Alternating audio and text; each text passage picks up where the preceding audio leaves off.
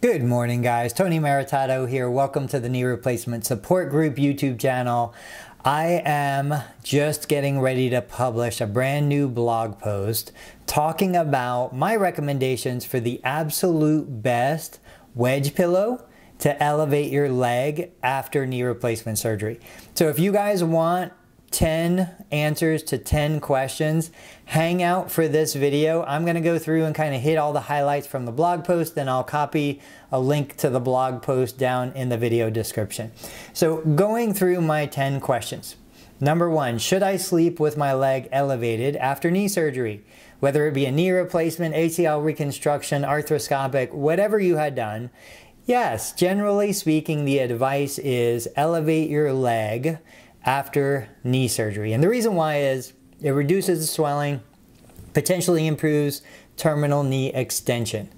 So question number two, how do I elevate my leg after knee surgery? Well, I love wedge pillows. I've got another video that talks about the three main kinds of wedge pillows. And in the blog post, I've got affiliate links that take you to the wedge pillows that I like best. But you can use a wedge pillow. You can use regular pillows that are stacked sequentially so you can maintain a straight leg and comfort. There are different ways to do it. You can use a physio ball, you can use a couch put, couch cushion. If you're one of those people that moves around a lot at night, Couch cushions are super stable, they're thick, they're firm, and they work incredibly well. In fact, I need to do a video showing you how to do a couch cushion. So where do I put the pillow after knee replacement surgery?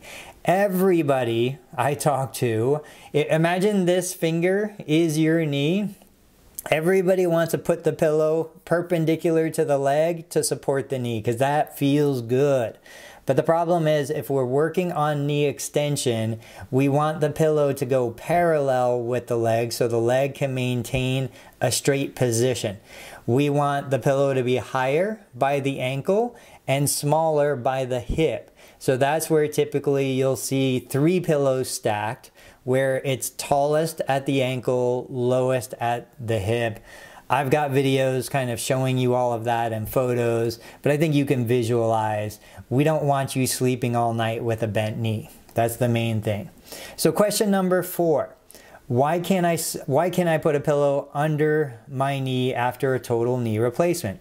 That's why, because if you sleep with a bent knee and you're spending six, eight, ten hours, which I know you're probably not sleeping that long anyway, but if you are spending a prolonged period of time with the knee flexed, there is the likelihood that you're going to develop a knee contracture and it's going to be harder to straighten that leg.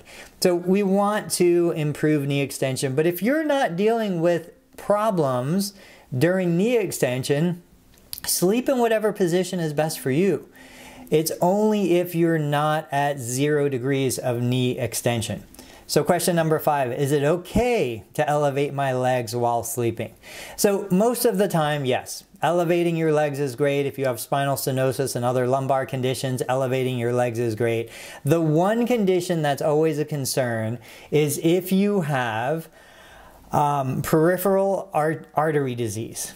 So peripheral artery disease, I'm not a cardiologist, but if you Google it, research it, um, there's two main conditions. Vascular insufficiency typically responds positively to elevated lower extremities.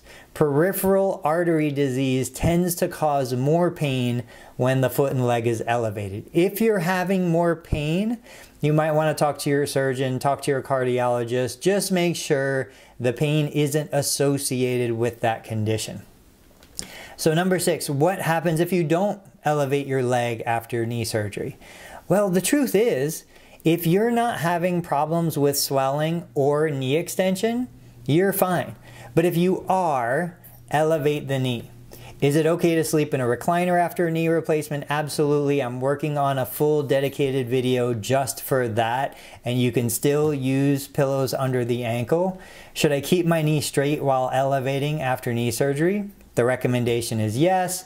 How high should I elevate my knee? We want it to be 45 degrees or higher at the hip. And then in the article, I share my three favorite wedges if you're looking for something. Guys, as always, thank you so much, and I'll catch you on the next video.